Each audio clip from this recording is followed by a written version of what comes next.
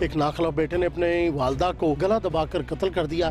اس کو یہ شک تھا کہ اس کی ماں کے کوئی السٹ ریلیشنز ہیں۔ سر لوگوں کے گلے برداشت کیا لوگ کہتے تھے؟ وہ کہتے تھے آپ کی والدہ اس طرح ہے یہ کام کرتی ہے۔ مجھے پھر یہ سر جی غصہ آتا تھا۔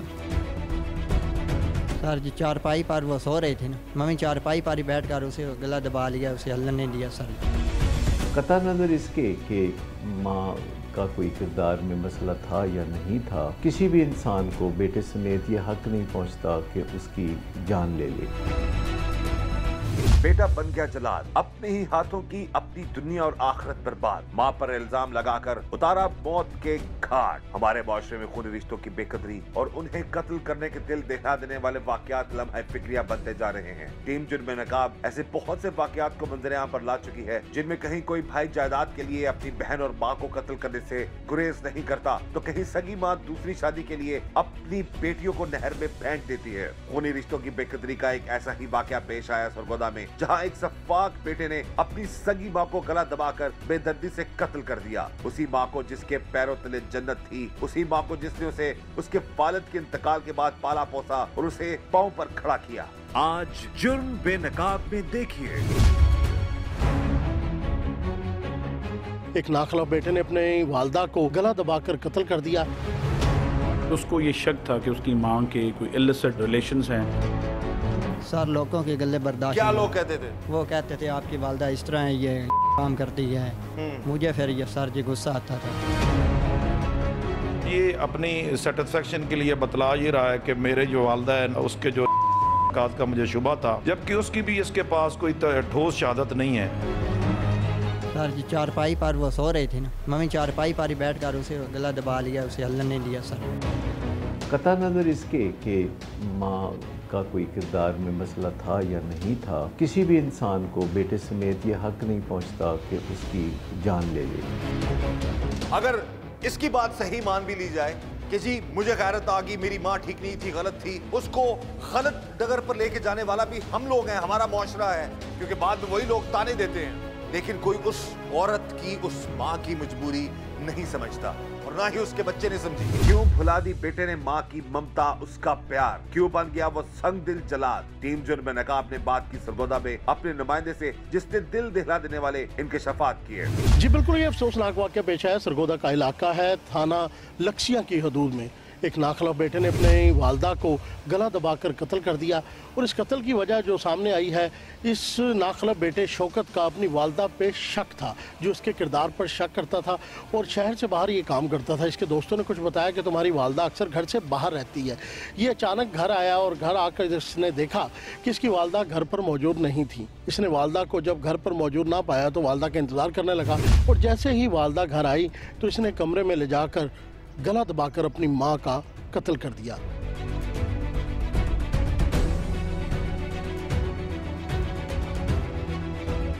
لگا کر اپنی ماں پر الزام۔ بیٹا کر چکا تھا اس کا کام تمام، لیکن کیا تھی؟ اس الزام کی حقیقت کیا تھا؟ سرگودا پولیس کا موقف. جب سرگودا پولیس کو اس اندھناک واقعے کی اطلاع ملی تو انہیں بھی نہ یقین آیا۔ ٹیم جرم نقاب نے بات کی۔ اس کیس کو حل کرنے والے ڈی ایس پی صاحب سے۔ ہمارا ڈسٹرکٹ جو سرگودا ہے، اس کا ہمارا گاؤں ہے چھنی قاضی۔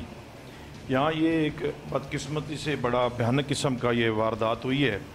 یہ عام روٹین سے ہٹ کر ہے کہ ہمارے دین میں جو جو ماں ہے، اس کا اتنا رتبہ ہے کہ جنت جو ہے وہ ماں کے قدموں تلے رکھی گئی ہے۔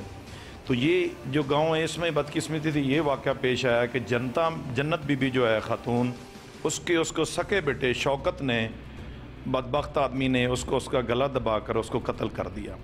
تو یہ بڑا ایک اہم کیس تھا۔ ہمارے جو ڈی پی او صاحب ہیں، انہوں نے ہمیں اسپیشلی جو ہے سرگودا کی پولیس کو، ان کو ٹاسک سونپا کہ یہ پہلے یہ نامعلوم تھا۔ اور نامعلوم کے بعد جب پولیس نے اس کی تفتیش کی ہمارے جو فرازق جو ہماری ٹیم ہے، وہ موقع پہ پہنچی اور تمام جو ہیں گرد و نواز سے اس کی دریافت عمل میں لائی گئی۔ تو کوشش کے بعد پتہ چل گیا کہ یہ شوکت ہی جو ہے، بدقسمت انسان، اس نے ہی اپنی والدہ کا جو ہے، وہ خاتمہ کیا اس کی زندگی کا۔ اور اس نے اب یہ اپنی سیٹسفیکشن کے لیے بتلا یہ رہا ہے کہ میرے جو والدہ ہے اس کے جو کا مجھے شبہ تھا۔ جبکہ اس کی بھی اس کے پاس کوئی ٹھوس شہادت نہیں ہے۔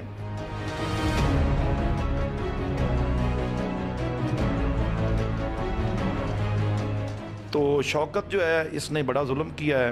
اپنی والدہ کا جو ہے ناحق قتل کر کے، اس کو ہم نے حسب ضابطہ گرفتار کر لیا ہے۔ گرفتاری کے بعد اس کے پوری انویسٹیگیشن کریں گے اور اس کو جو ہے چلان عدالت کروا کے اس کو کیفر کردار تک پہنچائیں گے۔ اور اب بدقسمتی یہ ہے کہ ہمارے معاشرے میں اب صورتحال یہ ہے کہ ماں اور باپ کا قتل بھی ہمارے معاشرے میں یہ روٹین بنتا جا رہا ہے۔ اس کی بھی اہمیت کوئی کم نہیں ہے۔ حالانکہ یہ رشتے تقدس والے ہیں۔ ان کے جس طرح ماں باپ انسان کے ساتھ مخلص ہوتے ہیں، اسی طرح اولاد کو بھی چاہیے کہ اگر وہ کوئی خدا نخواستہ خدا نخواستہ اپنے والدین کی غلطی ہوتی بھی ہے، تو اس کا یہ قطعی طور پہ نہیں ہونا چاہیے کہ اس کی زندگی سے اس کو ہاتھ دھونا پڑے یا اس کی زندگی کا یہ تک خاتمہ کر گیا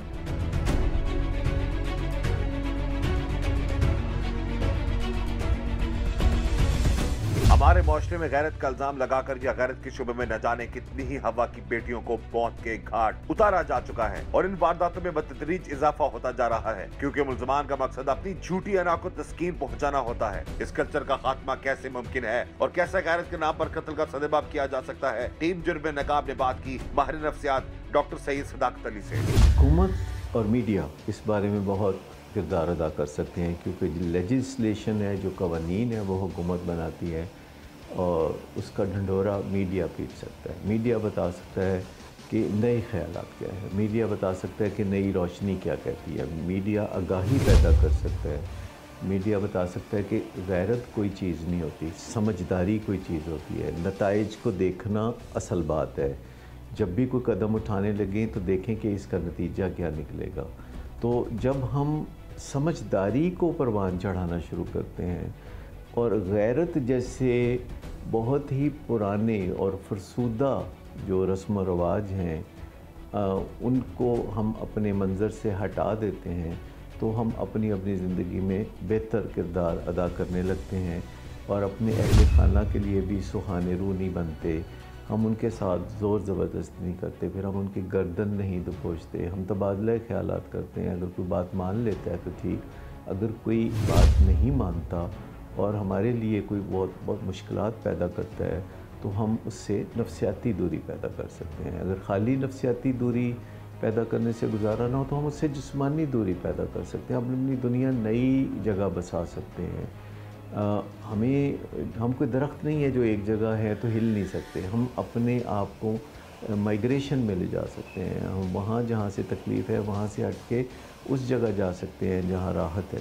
تو انسان کو اللہ تعالیٰ نے بہت صلاحیتیں دی ہیں، وہ اگر اپنی ذمہ داری اٹھاتا ہے تو یہ کافی ہے۔ جب ہم دوسروں کو اپنی مرضی سے زبردستی کسی طرف چلانا چاہتے ہیں تو اس سے بڑا فساد ہوتا ہے۔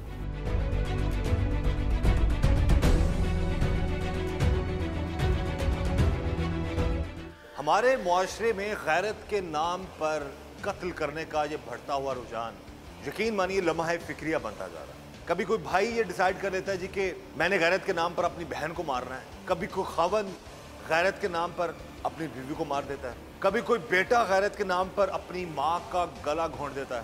اور کسی کی زندگی کو یہ الزام لگا کر ختم کر دینا کہ جی ہمیں غیرت کی وجہ سے ہم نے یہ کر دیا۔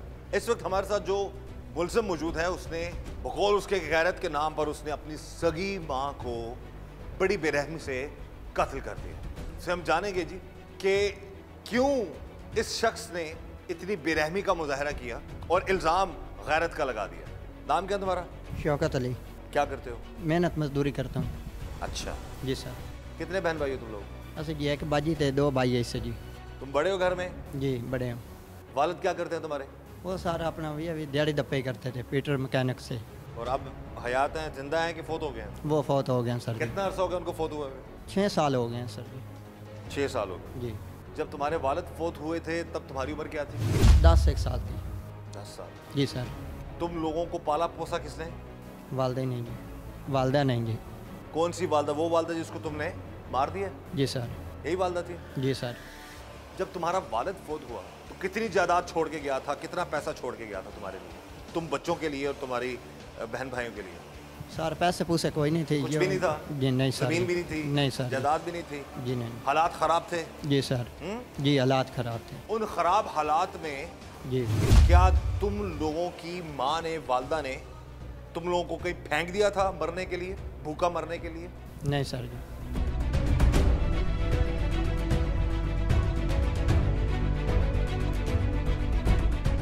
کیا کیا اس نے؟ پالا جی سر۔ تمہیں بھی؟ جی۔ تمہارے چھوٹے بھائی کو بھی جی۔ تمہاری بہن کو بھی؟ جی۔ ہاں کس نے پالا؟ والدہ نہیں جی۔ تم جب دس سال کے تھے تمہیں پتا تھا آئیڈیا تھا کہ وہ کس طریقے سے کن حالات کن مشکلات سے وہ گزر رہی ہوگی؟ سارا اس نے پھر میں سار جی پتا نہ آنا جی چھوٹا جی۔ چھوٹے تھے تم؟ جی سار جب تم بڑے ہو گئے جی سر۔ پھر بھی تم اکیلے گھر کا خرچ برداشت کر ہی نہیں سکتے؟ جی۔ ایسا ہی ہے؟ جی سر۔ جی سر۔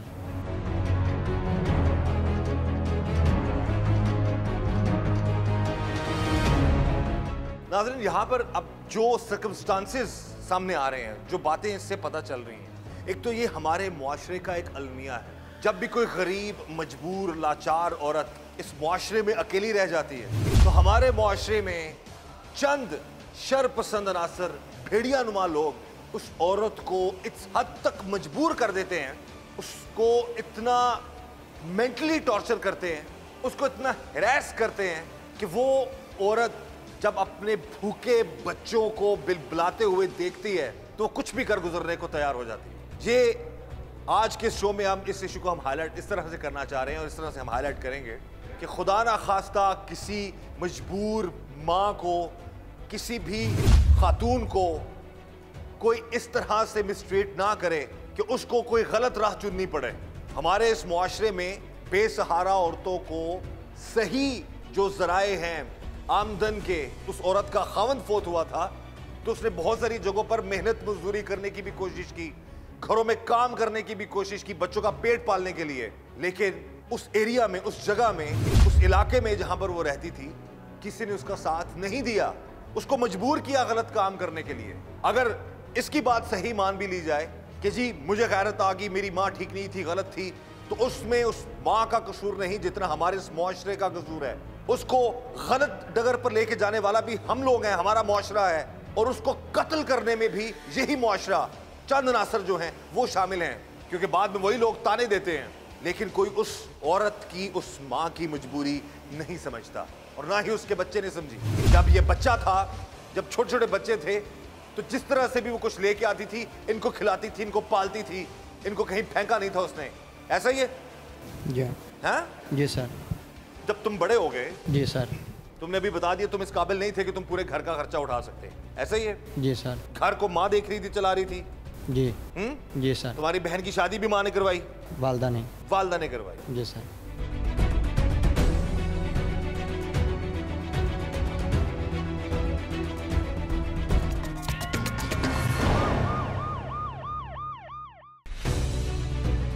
ایک ناخلہ بیٹے نے اپنے والدہ کو گلہ دبا کر قتل کر دیا۔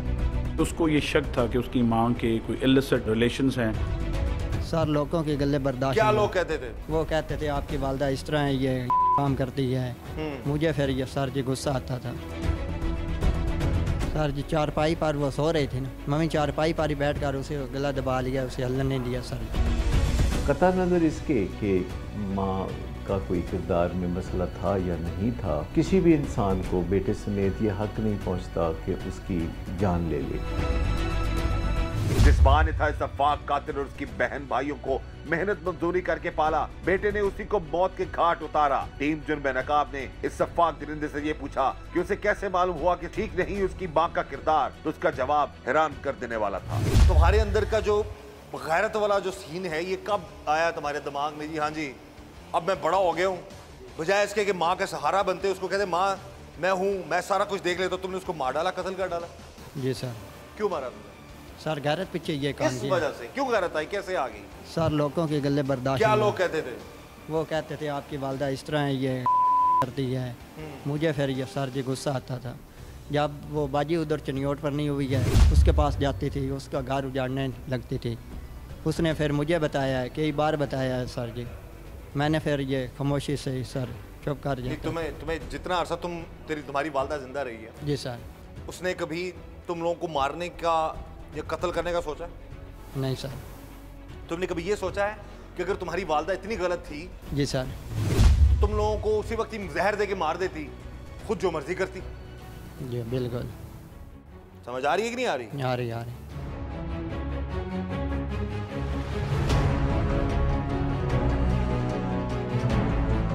کہ اگر تمہاری والدہ اپنے لیے غلط تھی یا خود غلط تھی وہ، تو وہ تم لوگوں کو زہر دے دیتی، کہیں پھینک دیتی، کہیں چھوڑ آتی تم لوگوں کو۔ اکیلی زندگی گزارتی نہیں شادی کر لیتی، اپنی زندگی گزارتی۔ یا جو بقول تمہارے غلط تھی وہ، تو وہ غلط طریقے سے زندگی گزارتی، تم لوگوں کا خیال نہ رکھتی۔ ماں تھی وہ، انسان تھی وہ، مجبوریوں نے، ان حالاتوں نے اس کو اگر اگر تمہاری بات بھی مان لیجیے تو اس کو اس لیے انہوں نے اس حالات نے اس کو ایسا بنا دیا ہوگا۔ تم لوگوں کی بھوک نے تم لوگوں کی پلکنے نے تم لوگوں کی سسکنے نے شاید اس نے وہ اس معاملے میں پڑ گئی ہو۔ کبھی یہ سوچا تم نے؟ نہیں سر۔ والد جب مر گیا فوت ہو گیا تمہارا اس کے بعد وہی کرتی رہی سب کچھ۔ سیاہ کرے سفید کرے تم لوگوں کو تو پال رہی تھی نا وہ۔ جی۔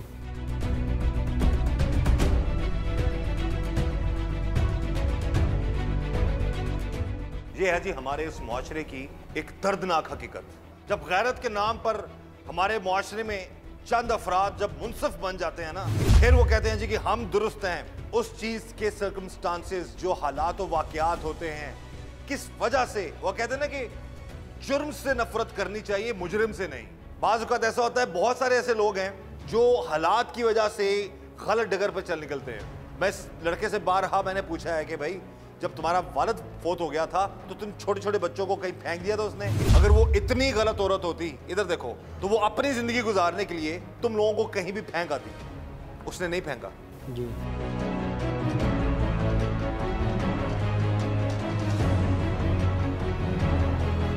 اس سچویشن کو ہم اکثر دیہاتوں میں تو بہت ہی کامن دیکھتے ہیں کیونکہ جو اکیلی عورت ہوتی ہے سنگل عورت ہوتی ہے جو اپنے بچوں کو کسی نہ کسی طرح محنت مزدوری کر کے پال رہی ہوتی ہے، تو اس کی طرف بہت سے لوگ غلط نیت سے بڑھتے ہیں اور اگر وہ حامی بھر لے تو بھی وہ خراب ہے، اگر وہ حامی نہیں بھرے گی تو بھی وہ خراب ہے۔ تو عورت کے بارے میں جو سب سے بڑا حربہ ہے ہمارے معاشرے کے پاس یا مردوں کے پاس یہ ہے کہ اس کے اوپر تھوڑا کیچڑ اچھال دے۔ مردوں کو تھوڑا استثناء حاصل ہے کہ اگر وہ خراب بھی ہیں تو کوئی بات نہیں۔ جب یہ ایک دو عملی سی ہے جو ہماری سوسائٹی میں دیکھنے میں آتی ہے، قطع نظر اس کے کہ ماں کا کوئی کردار میں مسئلہ تھا یا نہیں تھا، تو کسی بھی انسان کو بیٹے سمیت یہ حق نہیں پہنچتا کہ اس کی جان لے لے۔ آپ زیادہ سے زیادہ یہ کر سکتے ہیں کہ آپ کنارہ کشی اختیار کر لیں، آپ تعلق ناتا رشتہ جو ہے وہ توڑ دیں۔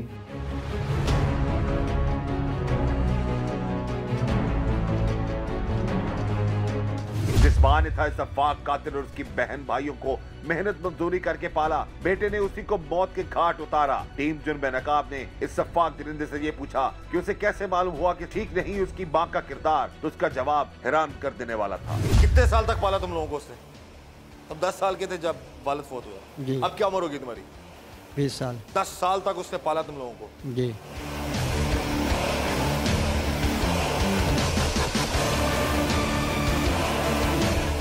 تم نے کب یہ فیصلہ کر لیا جی کہ تم اپنی ماں کو مار ڈالو گے؟ وہ ایک دن نہیں سر جی کیا ہے۔ کیا سوچا تم نے؟ لوگوں کی باتیں سر جی پھر مجھے برداشت نہیں ہوتی وہ کہتے تمہیں پتہ جن لوگوں کی باتیں تمہیں برداشت نہیں ہوتی ہو سکتا ہے انہی لوگوں نے تمہاری ماں کو مجبور کیا ہو اس کام پہ۔ پتہ نہیں سر جی ہے مجھے نہیں نہیں پتا نا؟ جی۔ تم نے ماں سے بات کی؟ نہیں سر جی۔ ماں سے پوچھا؟ نہیں سر جی۔ مار ڈالا اسے؟ جی سر۔ بغیر پوچھے مار ڈالا۔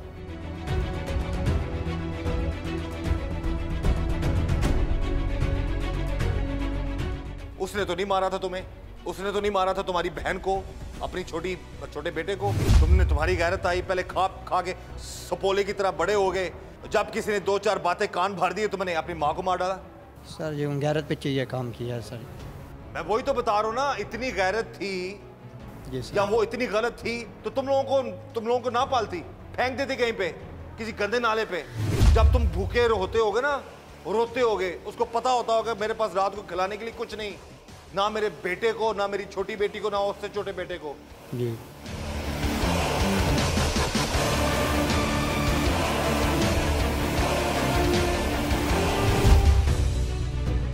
ایک ناخلا بیٹے نے اپنے والدہ کو گلا دبا کر قتل کر دیا۔ اس کو یہ شک تھا کہ اس کی ماں کے کوئی illicit relations ہیں۔ سر لوگوں کے گلے برداشت کیا لوگ کہتے تھے؟ وہ کہتے تھے آپ کی والدہ اس طرح ہے یہ کام کرتی ہے۔ مجھے پھر یہ سر جی غصہ آتا تھا۔ سر جی چارپائی پر وہ سو رہے تھے نا۔ ممی چارپائی پر ہی بیٹھ کر اسے گلا دبا لیا اسے ہلن دیا سر جی۔ قطع نظر اس کے کہ ماں کا کوئی کردار میں مسئلہ تھا یا نہیں تھا کسی بھی انسان کو بیٹے سمیت یہ حق نہیں پہنچتا کہ اس کی جان لے لے۔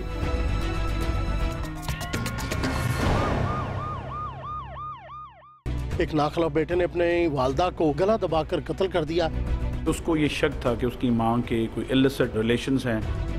سر لوگوں کے گلے برداشت کیا لوگ کہتے تھے؟ وہ کہتے تھے آپ کی والدہ اس طرح ہے یہ کام کرتی ہے۔ مجھے پھر یہ سر جی غصہ آتا تھا۔ سر جی چارپائی پر وہ سو رہے تھے نا۔ ممی چارپائی پر ہی بیٹھ کر اسے گلا دبا لیا اسے ہلن نہیں دیا سر جی۔ قطع نظر اس کے کہ ماں کا کوئی کردار میں مسئلہ تھا یا نہیں تھا کسی بھی انسان کو بیٹے سمیت یہ حق نہیں پہنچتا کہ اس کی جان لے لے۔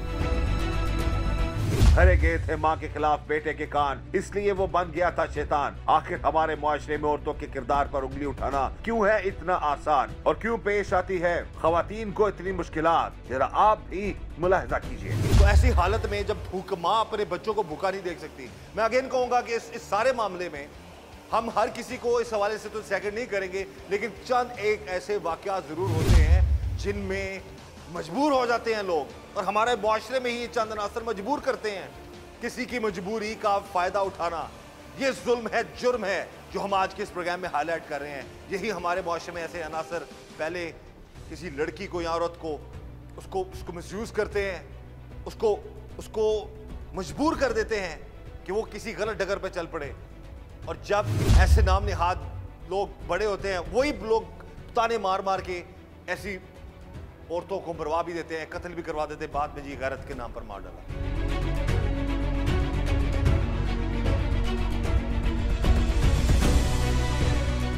سنی سنائی باتیں اور عورتوں کے کردار پر کیچڑ اچھالنا کیسے دلاتا ہے اشتعال اور کیسے انسان بن جاتا ہے حیوان؟ ڈیمجر میں نقاب نے یہ جانے کی بھی کوشش کی۔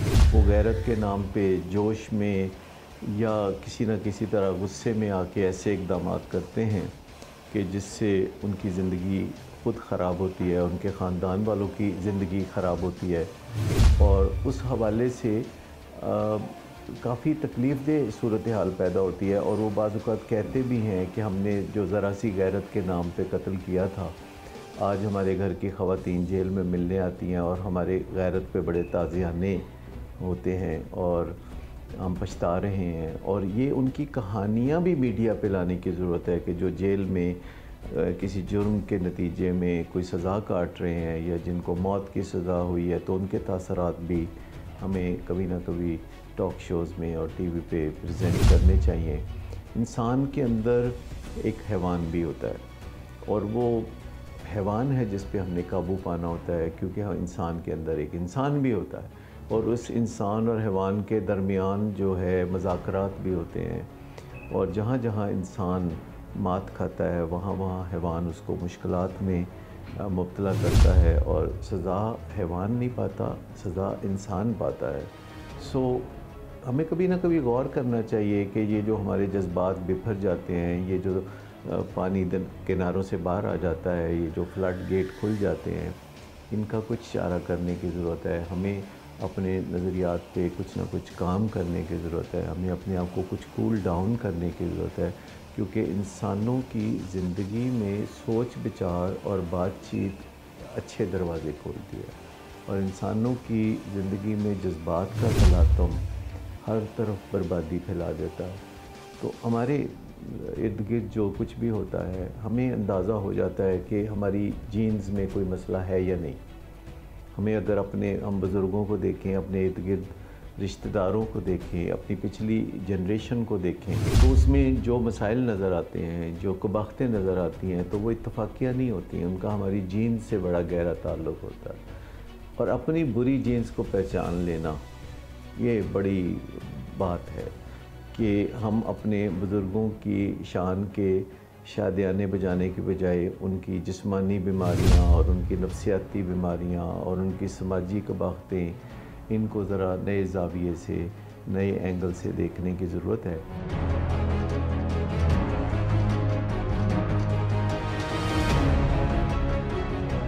اور اگر ہمیں پتہ چل جائے کہ ہماری جینز خراب ہے، ہمارے خون میں کچھ بھی ہے، تو اپنی جینز کو بیٹ کرنے کے لیے اب بہت اچھے پروگرام ہیں۔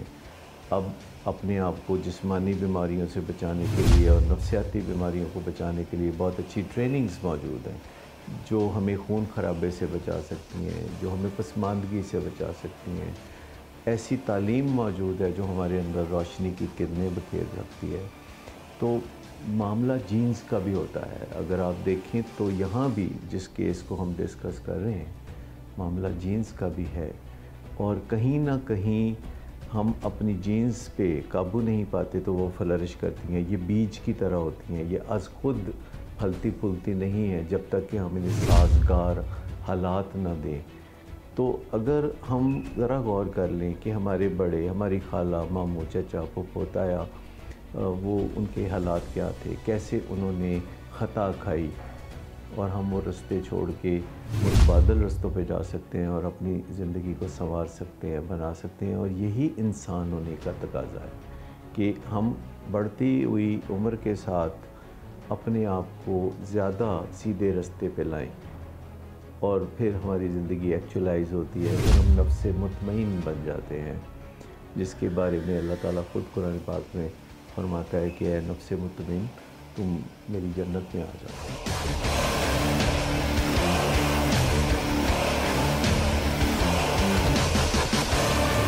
ظالم درندے نے ماں کی ممتا کو بھلا کر اس کی محبت اور شفقت کو بھلا کر کس طرح بے دردی سے قتل کیا؟ حقیقت لرزہ خیز تھی۔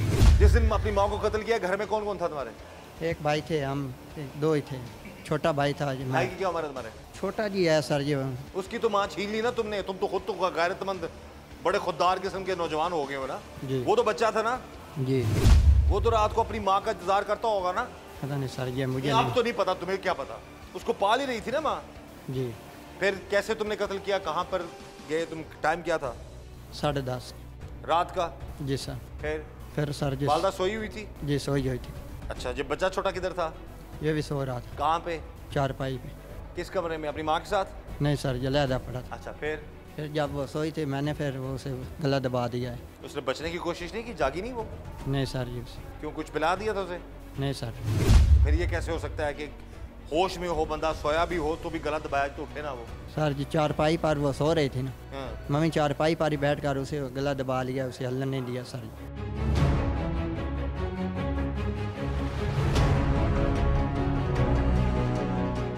تڑپی تو ہوگی اس وقت بیچاری۔ جی۔ جی۔ تمہیں اس وقت رحم نہیں آیا؟ میں اپنی ماں کا گلا دبا رہا ہوں۔ بس سر ہوں غیرت پیچھے فاری نہیں غیرت پیچھے۔ پھر بھی بیٹے تو اسی کے کہلاؤ گے نا تم؟ جی۔ ایک کام کرنا چاہیے تھا تمہیں۔ جی۔ اسی کا اسی کے ٹکڑوں پہ پلے ہو نا تم۔ غیر تو یہ تھی پھر جائے دفاع ہو جاتے کہیں خود دفاع ہو جاتے کہیں پہ تم۔ جی۔ تمہارے رگوں میں جو خون دوڑ رہا ہے جو زندہ ہو تم اپنی اس ماں کی وجہ سے زندہ ہو۔ جی۔ کس کی وجہ سے زندہ ہو؟ ہاں کہ بھائی ماں کی وجہ سے زندہ ہو۔ جی۔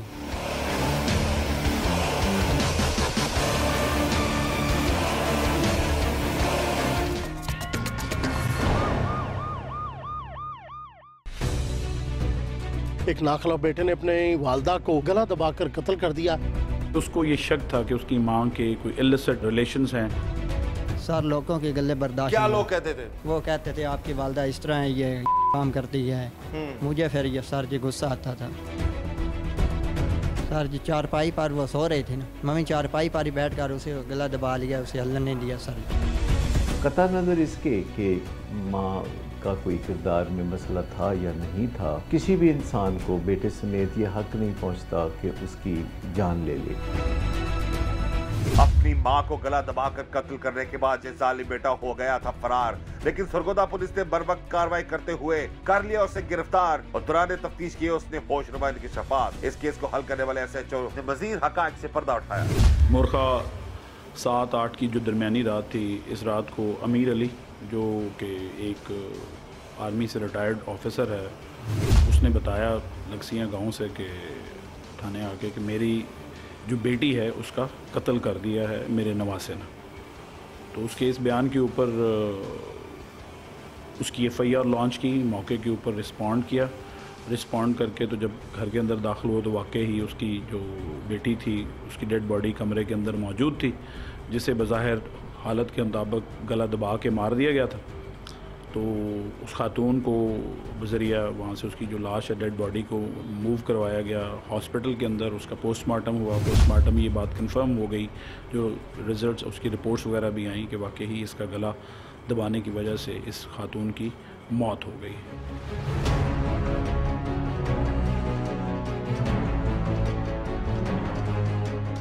پولیس نے اس کے اوپر پھر ریڈ وغیرہ کرنے شروع کر دیے، ریڈ کرتے وقت کیونکہ شوکت کو پکڑنا مقصود تھا کہ وہ کچھ اور اس طرح کا عمل یا کسی اور رشتہ دار کو یا اسے اپنے گھر کے کسی دوسرے لوگوں کو نقصان نہ پہنچوائے، کیونکہ وہ اس طرح کی انزائٹی کیونکہ اس سے فیملی کے بارے میں پتہ چل رہا تھا کہ اس کو یہ شک تھا کہ اس کی ماں کے کوئی السٹ ریلیشنز ہیں کسی بندے کے ساتھ، تو اس وجہ سے۔ وہ بیسکلی کام کہیں دور سے کرتا تھا اور پلاننگ کے ساتھ وہ یہاں پہ جب اس وقت آیا کہ ماں کو اس نے اکیلا پایا تو اس نے یہ سارا کام کر دیا۔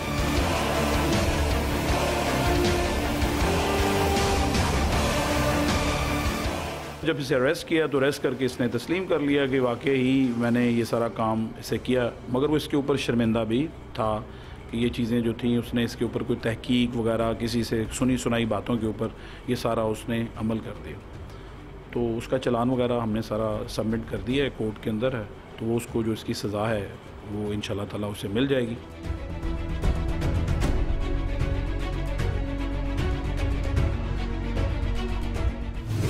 اس سفاق درندے کے پاس ٹیم جرم نگاب کے کسی بھی سوال کا جواب نہیں تھا۔ قتل کی ایک ہی وجہ کر رہا تھا بیان۔ لیکن جب ٹیم جرم نگاب نے سے پوچھا کہ کیا وہ سزا کے لیے ہے تیار تو اس کا جواب حیران کر دینے والا تھا۔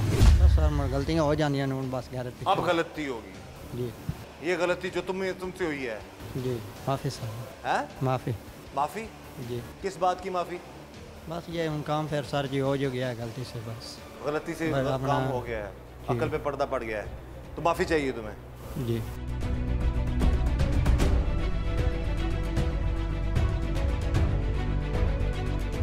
یہ جو ہمارے معاشرے میں نا ہمارے ملک میں جو سسٹم ہے نا بندہ مارنا تو کوئی مسئلہ ہی نہیں ہے۔ اور خاص طور پر غیرت کے نام پر کسی ماں کو بہن کو بیٹی کو بیوی کو مارنا وہ تو مسئلہ ہی نہیں ہے۔ اسے پتہ ہے میں نکل آؤں گا باہر۔ یہی جرم میں نقاب ہم کر رہے ہیں۔ کو آج تک بتا دیں کہ کسی کو بر وقت سزا ہوئی ہو ہمارے ملک میں۔ قتل کرنا مسئلہ نہیں۔ یہ ایٹیٹیوڈ ہاں جی ٹھیک ہے جو ہوئے گا، ویکھی جائے گی جناب، کوئی گل نہیں۔ ماں مارتی، خیر ہے، کوئی گل نہیں۔ غیرت دے ناتے ماری، کوئی غلط کام دی تمغہ ملنا چاہیے اس لوگوں کو۔ ڈوب مرنے کا مقام ہے ہمارے لیے بھی، اور ایسے مجرموں کے لیے بھی، اور معذرت کے ساتھ ہمارے سسٹم کے لیے بھی۔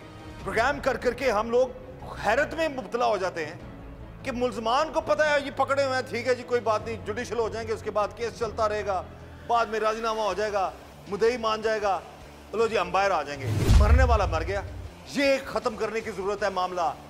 جب کہا جاتا ہے نا ملک میں انصاف کا بول بالا ہونا چاہیے تو انصاف ہونا چاہیے۔ قتل کیا ہے جو جرم کیا اس کی اس کے مطابق سزا ملنی چاہیے۔ ایک ناخلا بیٹے نے اپنے والدہ کو گلا دبا کر قتل کر دیا۔ اس کو یہ شک تھا کہ اس کی ماں کے کوئی السٹ ریلیشنز ہیں۔